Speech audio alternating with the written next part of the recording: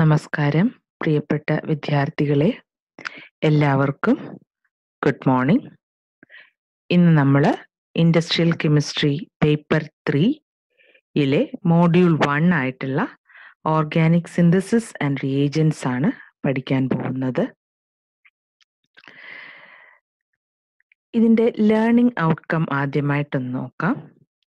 ഒന്ന് ഇത് പഠിച്ചതിന് ശേഷം you will be able to comprehend organic reactions and rearrangement രണ്ട് you will be understanding the mechanism of these various organic reactions and rearrangements. First, let us start with rearrangements. So, what is rearrangement? Rearrangement is a broad class of organic reactions in which the carbon skeleton of a molecule is rearranged to give a structural isomer of the original molecule. അപ്പോൾ original ഐസോമറിന്റെ ഏകദേശം എല്ലാ ആറ്റങ്ങളും തന്നെ re arrange ചെയ്ത് കഴിഞ്ഞിട്ടുള്ള പ്രോഡക്റ്റിൽ കാണും അതാണ് പറയുന്നത് the carbon skeleton of the original molecule is rearrange to give a structural isomer let see some examples of rearrangement reactions ഇവിടെ ഞാൻ എഴുതിയിരിക്കുന്നത് നിങ്ങളുടെ സിലബസിൽ തന്നിട്ടുള്ള അഞ്ച് റീ അറേഞ്ച്മെന്റ് റിയാക്ഷൻസ് ആണ്. ആദ്യത്തേത് pinacol pinacolone rearrangement Claisen rearrangement Fries rearrangement benzidine rearrangement and Beckmann rearrangement അപ്പൊ ഇത് ഓരോന്നോരോന്നായിട്ട് നമുക്ക് എന്താണെന്ന് നോക്കാം. ആദ്യമായിട്ട് പിനക്കോൾ പിനക്കോളോൺ റീഅറേഞ്ച്മെന്റ് ഈ റീഅറേഞ്ച്മെന്റ് പഠിക്കുന്നതിന് മുന്നേ നമുക്ക് എന്താണ് പിനക്കോൾ എന്താണ് പിനക്കോളോൺ എന്ന് പഠിക്കാം.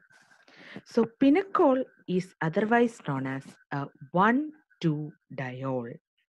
Diol എന്ന് വെച്ചാൽ ഒരു alcohol containing two O H group so one two diol അഥവാ പിനക്കോൾ എന്ന് വെച്ചാൽ ആ ഡയോളിൽ the two O H groups are on the vicinal carbon atoms vicinal means adjacent ആയിട്ടുള്ള അല്ലെങ്കിൽ വണ്ണും ടൂവും പൊസിഷനിൽ കിടക്കുന്ന കാർബണുകളിലായിരിക്കും നമ്മുടെ രണ്ട് ഒ എച്ച് ഗ്രൂപ്പും അറ്റാച്ച് ചെയ്തിരിക്കുന്നത്.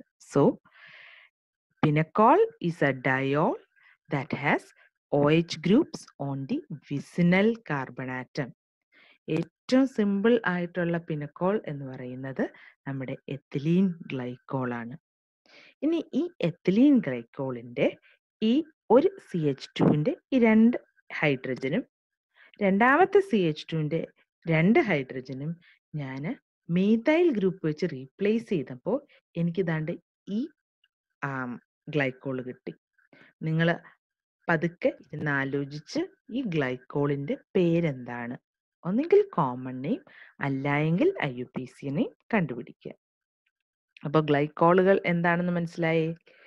ഇനി പിനക്കൊളോൺ ഈ ഗ്ലൈ പിനക്കോളിൽ നിന്ന് ഓക്സിഡൈസ് ചെയ്താൽ ഉണ്ടാകുന്ന പ്രോഡക്റ്റിനെയാണ് നമ്മൾ പിനക്കോളോൺ എന്ന് പറയുന്നത്. അപ്പോൾ ഒരു ഗ്ലൈക്കോളിന്റെ നേച്ചർ അനുസരിച്ച് ആ ഓക്സിഡേഷൻ പ്രോഡക്റ്റ് അത് ആൽഡിഹൈഡോ കീറ്റോണോ ആവാം. So pinacolone is a ketone or aldehyde formed by the oxidation of a pinacol. Here ethylene ഗ്ലൈക്കോളിനെ നമ്മൾ ഏതെങ്കിലും ഒരു റെഡ്യൂ ഓക്സിഡൈസിങ് ഏജന്റ് വെച്ച് ഓക്സിഡൈസ് ചെയ്യുമ്പോൾ ഒരു C H two O H അതായത് പ്രൈമറി ആൽക്കഹോളിക് ഗ്രൂപ്പാണിത്. ഈ പ്രൈമറി ആൽക്കഹോളിക് ഗ്രൂപ്പ് ഒരു ആൽഡിഹൈഡിക് ഗ്രൂപ്പായിട്ട് മാറുന്നു. ഇതിനെ നമുക്കൊരു പിനക്കോളോൺ എന്ന് വിളിക്കാം. അപ്പൊ ഇനി നമുക്ക് തിരിച്ച് നമ്മുടെ പിനക്കോൾ പിനക്കോളോൺ റീഅറേഞ്ച്മെന്റിലേക്ക് വരാം. ഇതാ ഇവിടെ നമ്മൾ നേരത്തെ കണ്ട പിനക്കോളിനെ വേറൊരു രീതിയിൽ വരച്ചു വെച്ചിരിക്കുകയാണ്. അപ്പൊ ഈ പിനക്കോളിനെ സൾഫ്യൂരിക് ആസിഡുമായിട്ട് ഹീറ്റ് ചെയ്താൽ പിനക്കോൾ അതിന്റെ അതിന്റെ പിനക്കളോണായിട്ട് മാറുന്നു.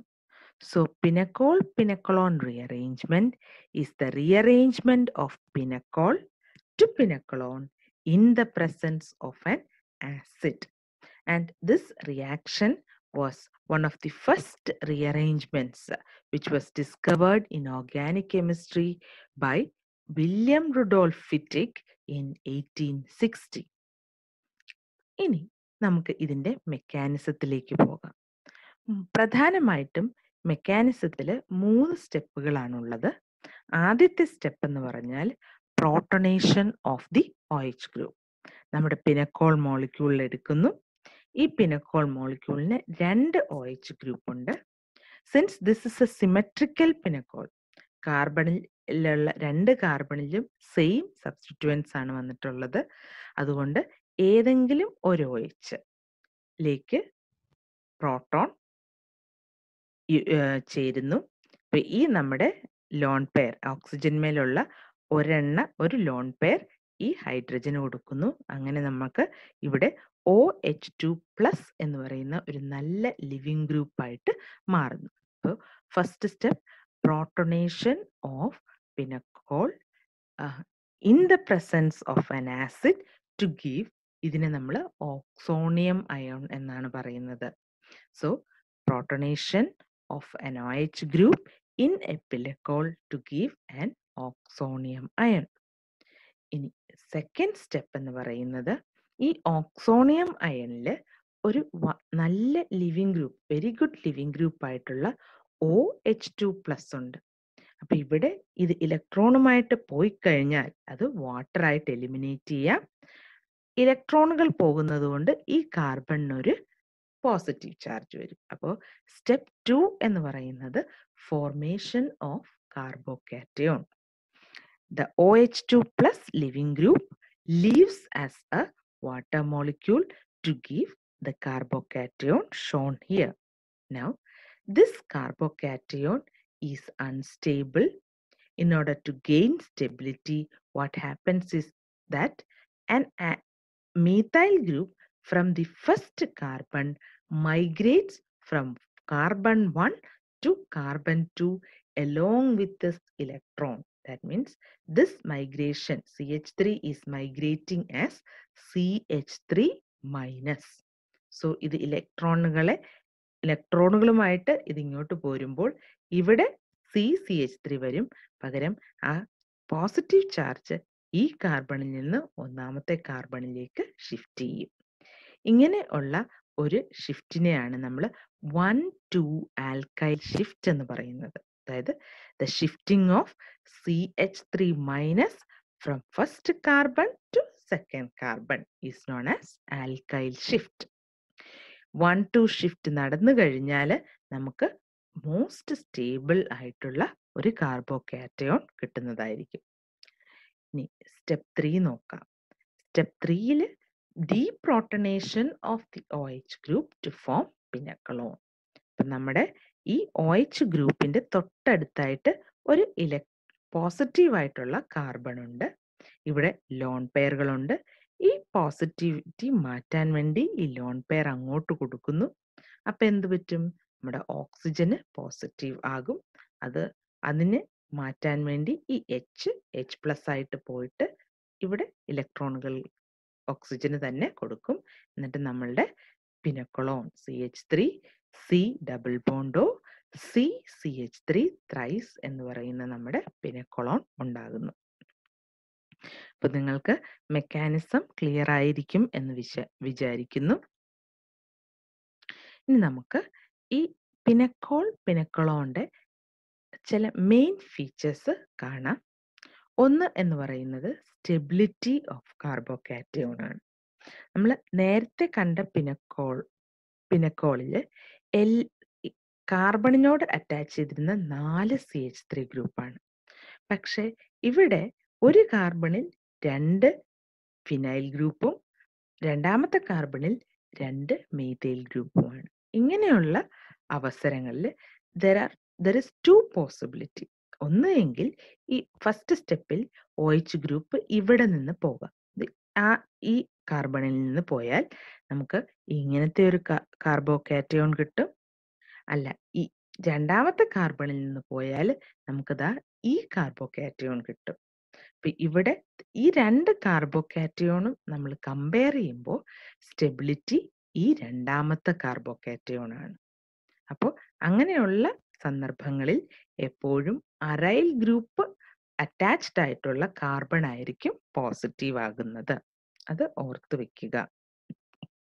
ഇനി migrating aptitude of the group അപ്പോൾ നമുക്ക് ഒരു പിനക്കോളിൽ ഒരു ആൽക്കൈൽ ഗ്രൂപ്പ് ഉണ്ട് അറൈൽ ഗ്രൂപ്പ് ഉണ്ട് ഹൈഡ്രജൻ ഉണ്ടെങ്കിൽ ഏറ്റവും പെട്ടെന്ന് മൈഗ്രേറ്റ് ചെയ്യുന്നത് അല്ലെങ്കിൽ മൈഗ്രേറ്റിംഗ് പ്രിഫറൻസ് എന്ന് പറയുന്നത് നമ്മുടെ ഹൈഡ്രജൻ ആയിരിക്കും. അപ്പോൾ ഹൈഡ്രജൻ ഇവിടുന്ന് ഇങ്ങോട്ട് മൈഗ്രേറ്റ് ചെയ്യുന്നു ഇത് പോകുന്നു ഇത് ഡബിൾ ബോണ്ടോ ആകുന്നു. ഇനി ഒരു ഗ്ലൈക്കോളിൽ അറൈൽ ഗ്രൂപ്പും ആൽക്കൈൽ ഗ്രൂപ്പും ഉണ്ടെങ്കിൽ പ്രിഫറൻഷ്യലി അറൈൽ ഗ്രൂപ്പ് ആയിരിക്കും മൈഗ്രേറ്റ് ചെയ്യുന്നത്. ഇനി വെൻ വൺ കാർബൺ ആറ്റം ഒരു കാർബൺ ആറ്റത്തിൽ രണ്ട് അറൈൽ ഗ്രൂപ്പും മറ്റേ കാർബൺ ആറ്റത്തിൽ രണ്ട് ആൽക്കൈൽ ഗ്രൂപ്പും ഉണ്ടെങ്കിൽ മൈഗ്രേറ്റിംഗ് പ്രിഫറൻസ് എന്ന് പറയുന്നത് ആൽക്കൈൽ ഗ്രൂപ്പിനായിരിക്കും. അപ്പൊ ഈ മൂന്ന് കാര്യങ്ങൾ നമ്മൾ ഓർക്കണം.